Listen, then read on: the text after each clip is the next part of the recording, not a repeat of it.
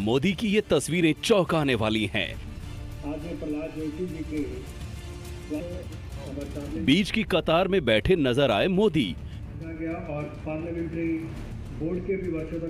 BJP सांसदों के workshop में मोदी का अलग अंदाज। क्या प्रधानमंत्री मोदी की आपने ऐसी तस्वीरें देखी हैं? आप कहेंगे शायद नहीं। इस तस्वीर में बहुत कुछ ऐसा छिपा है, जो आपको चौंका सकता है। सबसे चौंकाने वाली बात है, पीएम मोदी का पीछे की कतार में बैठना।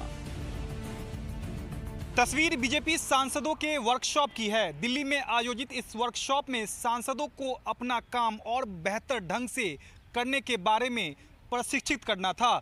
इस वर्कशॉप का नाम दिशा दर्शन शिविर था। बीजेपी सांसदों की इस पाठशाला में प्रधानमंत्री मोदी भी मौजूद थे, लेकिन वे पीछे की कतार में नज़र आए। आमतौर पर प्रधानमंत्री ऐसे कार्यक्रमों में मुख्य मंच पर बैठे दिखते हैं। उनके लिए अलग से कुर्सी होती है, मंच पर गिनती के लोग होते हैं। लेकिन संसद भवन के कैंपस में बीजेपी सांसदों की कार्यशाला में मोदी पीछे वाली लाइन में बैठे दिखे तो सबका चौंकना लाजमी था। दिल्ली बीजेपी के अध्यक्ष मनोज तिवारी पीएम मोदी की आगे वाली कतार में दिख रहे हैं। आप पीएम मोदी के पिछली कतार में बैठे होने की वजह जानकर मुस्कुराएँगे। दरअसल मामला अलग है, ये कार्यशाला बीजेपी सांसदों के लिए आयोजित की गई थी और प्रधानमंत्री मोदी यहाँ एक सांसद के रूप में पहुँचे थे, इसलिए वे मंच पे नहीं, बाकी सांसदों के साथ कतार में बैठे थे। बीजेपी ने लोकसभा में प्रचंड विजय के बाद पूरे देश में पार्टी के संगठन को और मज़बूत करने के मिशन की तरफ़ कदम बढ़ा दिया है। इसमें पीएम मोदी और पार्टी अध्यक्ष अमित शाह ने पूरी ताकत झोंक रखी है। बीजेपी सांसदों की इस कार्यशाला में पीएम मोदी की पाठशाला भी लगी। पीएम मोदी ने इस वर्कशॉप का उद्घाटन करते हुए पार्टी सांसदों को बेहतरीन काम करने के लिए पाँच मंत्र दिए। पीएम मोदी ने कहा कि सांसद कड़ी मेहनत करें कार्यकर्ताओं से हमेशा संपर्क में रहें। सिर्फ़ चुनाव के वक्त उनकी खोज खबर ना लें।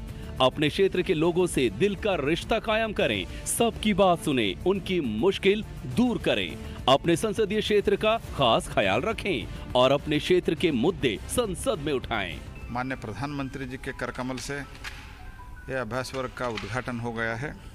उन्होंने त्रिपुरा के जो हमारा अभूतपूर्व विजय स्थानिक चुनाव में हुआ है, पंचायत चुनाव में हुआ है। 98 परसेंट सीट में हम जीत हासिल किए हैं।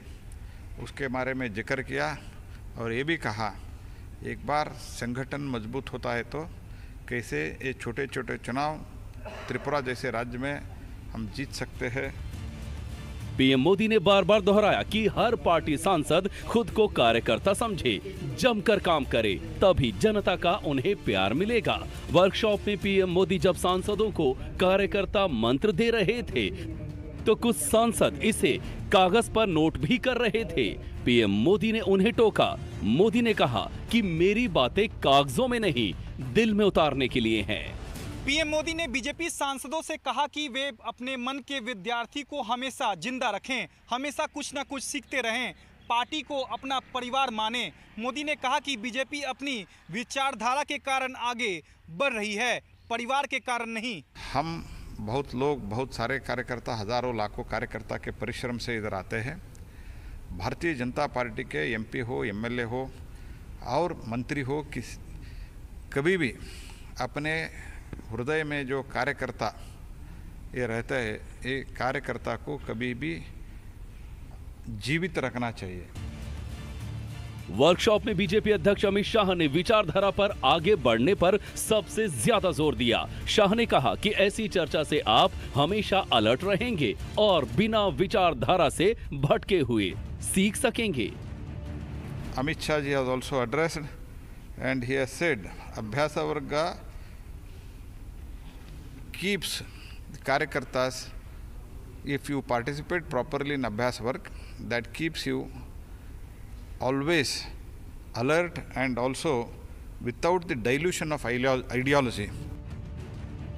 PM Modi इससे पहले मंत्रियों की क्लास ले चुके हैं उन्हें तेज़ी से और बेहतर काम करने की नसीहत दे चुके हैं अब पीएम मोदी का सांसदों को दिया गया कार्यकर्ता मंत्र, ये बताने को काफ़ी है कि सत्ता में दोबारा वापसी के बाद मोदी और भी बड़े मिशन पर आगे बढ़ना चाहते हैं।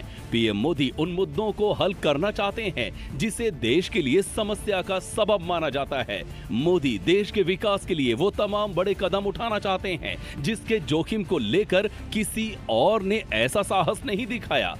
मोदी को भरोसा है कि जनता के साथ दिल का रिश्ता कायम कर ये सब करना मुमकिन है।